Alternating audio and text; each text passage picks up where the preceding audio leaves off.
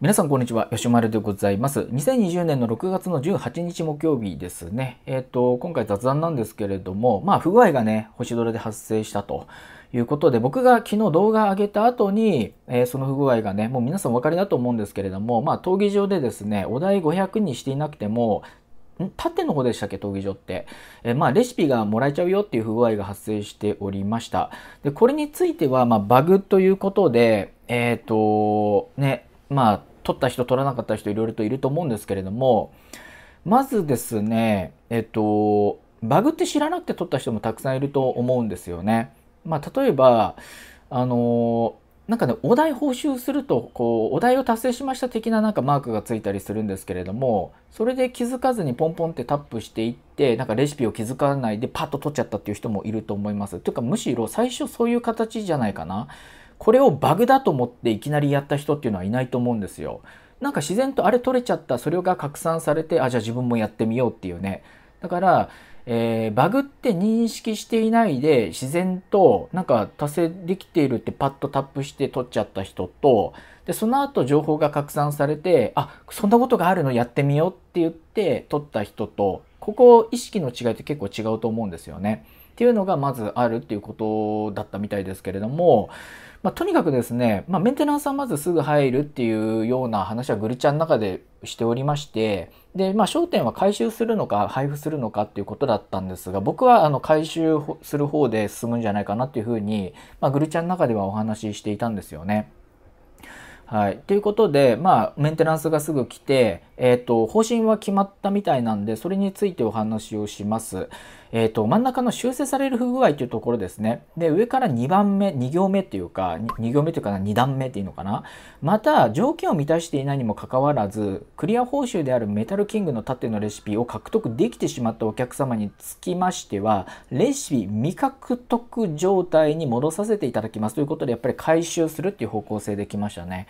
で、これに関して僕はもうね、もうどっちでもいいです。あの、配布してもよかったし、回収してもよかったと。ただ、まあ、運営さん的には、やっぱり、そう、最初に決まり事としてルールがあって、あのちゃんと条件というものを設定したわけですよ。で、その条件を設定したってことには、やっぱ会議でいろいろ決めて、あの作っていくんで、ゲームって。でその中でやっぱり配布しちゃうといろんなプランが崩れちゃうと思うんで、まあ一旦フラットな状態に戻しましょうと。うん、ただこっちの方がね、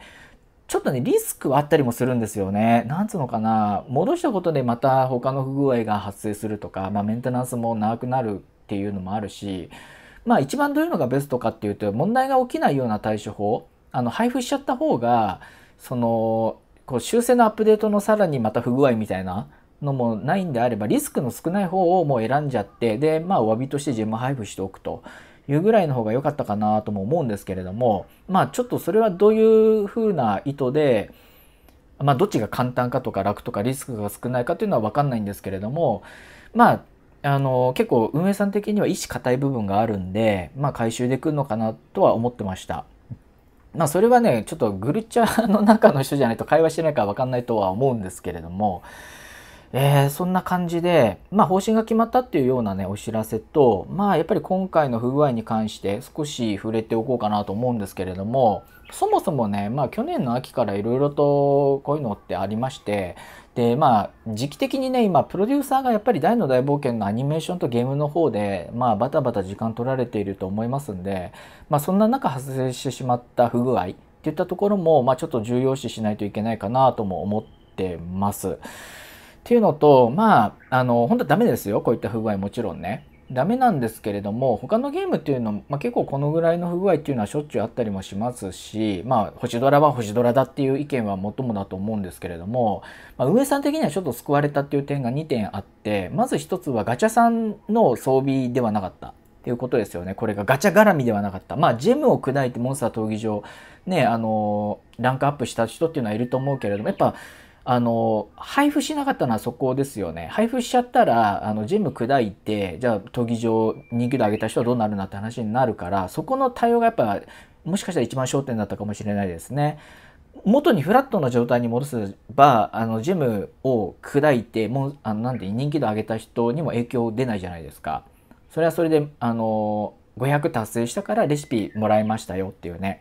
まあ、だからフラットに戻したっていうねあことが考えられたりもするのかなとも今ふと思うんですけれどもあのまあ基本的にそうですねまあ不具合っていうのはまあたくさんあってまあ直接ガチャ絡みではなかったっていうのとぶっ壊れ装備とはまたちょっと違ったじゃないですか。幸いにもと言っていいのか分かんないけれども。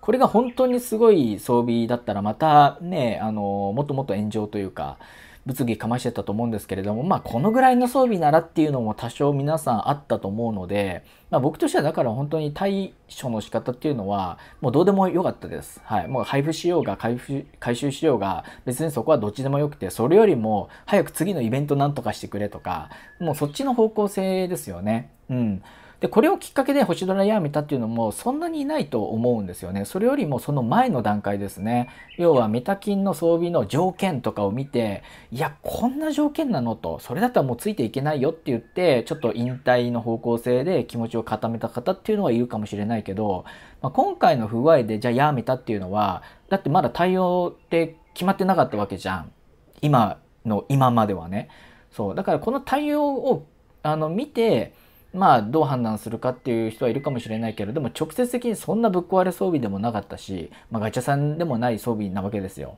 いわばね。だからまあそんなにねなんつうのかな。まあこう運営さん的にはちょっと救われた部分はあるのかなとも思いますけれども次ガチャさんとかでこういったもうねあの不具合が出た場合はさすがに結構ね厳しい部分はあるのかなっていうふうにねあの思ったりはします。でまあ結論というか簡単な話まあ、星ドラね今いろいろと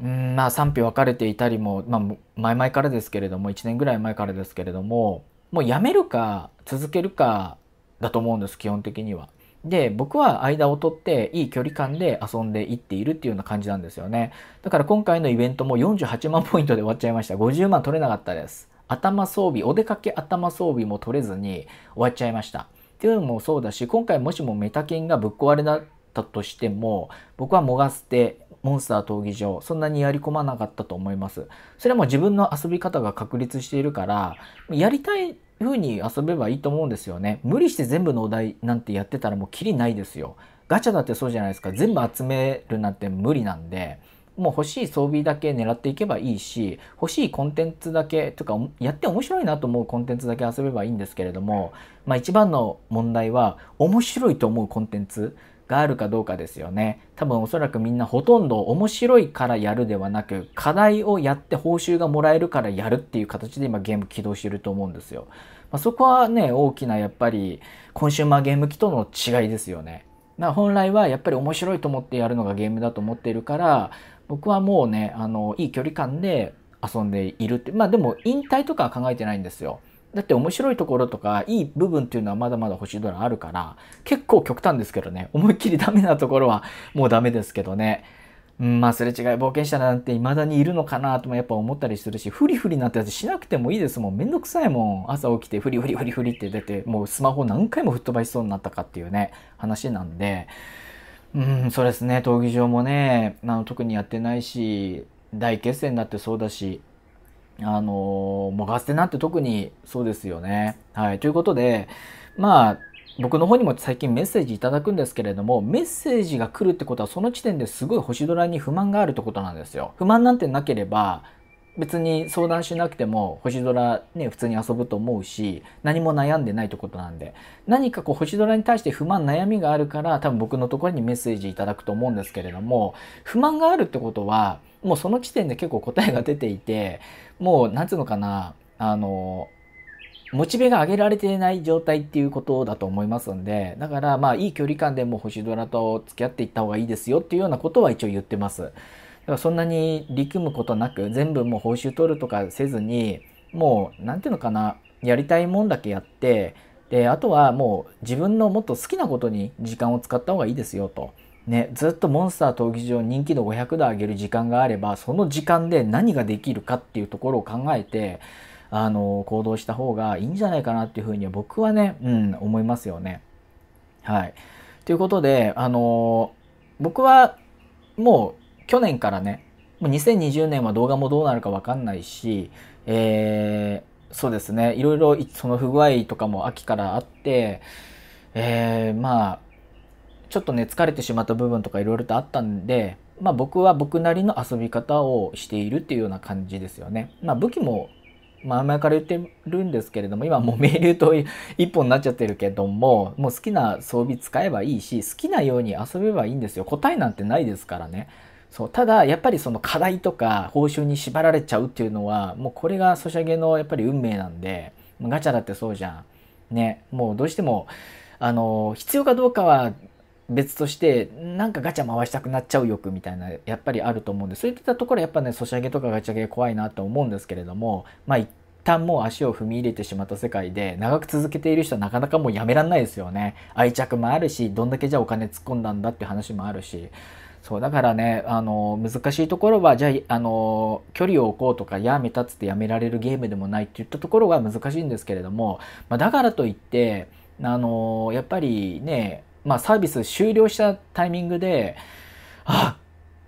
今まで何時間星ドラに費やしてきたんだろうとか、いくらお金を使ってしまったんだろうって考えて後悔するよりも、まあ、とりあえず今を見た方がいいのかなと。うん、他にやることなければ星ドラ全然やればいいんですけれども、例えばさ、釣り行くとか、なんつうのかな、もっと他のゲーム、ちょっとやってみようかなっていうのもありだと思うし、旅行行くとか、まあ旅行はコロナで無理か。まあ、今緩和状態にあるけれども、なんかね、あの、